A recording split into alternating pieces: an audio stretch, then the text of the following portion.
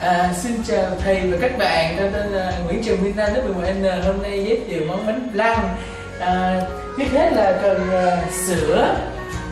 À, Tôi cần sữa và đường. Ngoài ra còn cần hai quả trứng. Hai quả trứng, trứng này lập sẵn rồi. À, Nguyên liệu cuối cùng là caramel. Caramel này caramel này là đường được uh, nấu nấu nóng chảy cho tới màu uh, vàng uh, cánh gián. Thì có mùi thơm của caramel. À, uh, bước đầu tiên là ta sẽ đập uh, cho hai muỗng đường.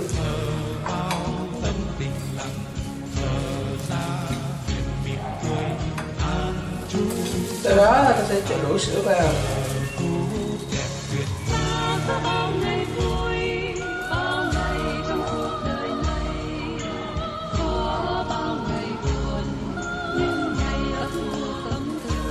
Theo là trứng là ta chỉ lấy lòng đỏ của trứng thôi.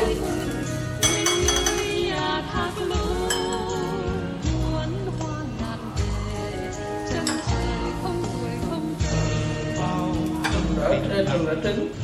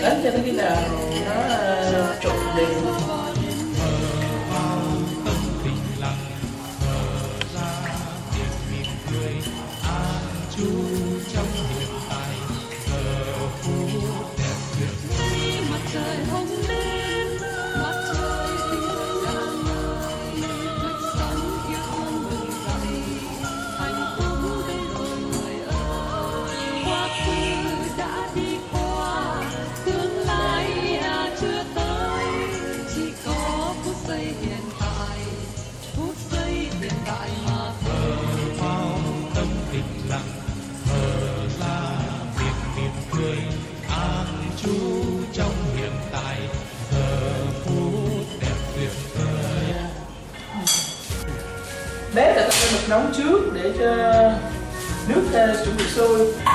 Ta sẽ ờ, sau khi ờ, hỗn hợp đã được đánh kỹ đều ta sẽ đổ hỗn hợp vào trong khuôn có chứa sẵn caramel.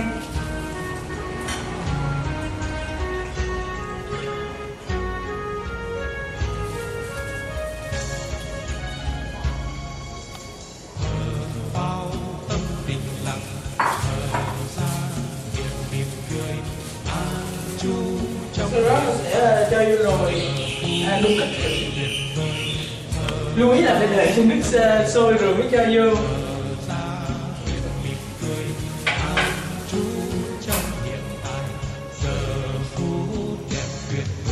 Có bao ngày là đậy nắp nồi lại. Và chờ cho tới khi hỗn hợp đã được là đông đã đông đã 20 phút khoảng 20 phút ta nữa rồi sẽ có thành phẩm